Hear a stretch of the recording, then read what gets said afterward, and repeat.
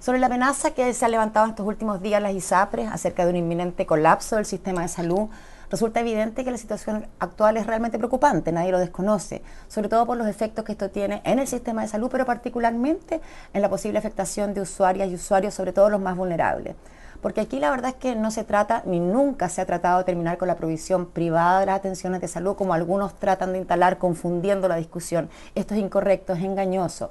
Cualquier solución a esta crisis no puede pasar por incumplir sentencias judiciales de la Corte Suprema. Eso también resulta clarísimo.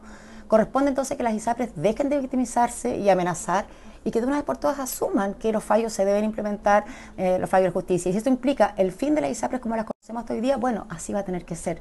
Ya no son viables. Por otra parte, de nuevo, la provisión privada es una necesidad objetiva y debe ser parte del sistema público de salud. En eso nadie se pierde.